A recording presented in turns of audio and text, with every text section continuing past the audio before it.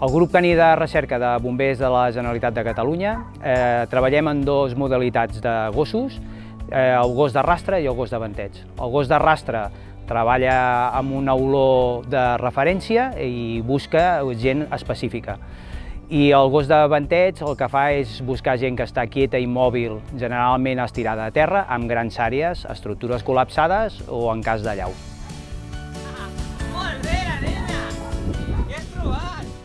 La tipologia de sortides en què treballem més són les grans àrees. En aquí sí que treballem, normalment es treballa en gos de venteig, el que sí que també és molt important, eh, si tenim mostra d'olor, treballar en gos de rastre. El que fa el gos de rastre és amb una gran àrea, ens dona una direcció i és a la direcció que ens dona el gos de rastre on ja comencem a treballar amb el gos de venteig o fiquem gent a treballar.